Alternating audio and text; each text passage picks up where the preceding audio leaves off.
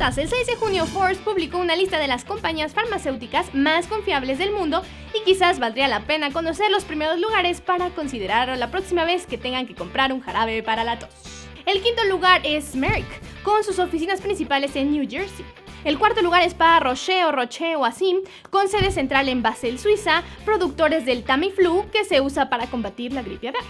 El tercer lugar es de Novo Nordisk, con su sede central en Dinamarca, que actualmente son líderes en tratamientos para diabetes con insulina. El segundo lugar es para Abbott Laboratories, con sus oficinas centrales en Illinois, Estados Unidos, y ayudaron en los años 40 en la producción en masa de la penicilina y en los 80 sacaron un kit para la detección del VIH. El primerísimo lugar es para Bayern, que tiene su oficina central en Leverkusen, Alemania, muy conocida por su marca original, la aspirina, que sin duda todos hemos tomado alguna vez. ¿Qué piensan de esto, Kiwinautas? ¿Creen que ya se saturó demasiado el mercado de los fármacos? No olviden suscribirse y seguirnos en nuestras redes sociales. Yo soy Ana Belén y esto fue el Kiwi Informativo. Adiós.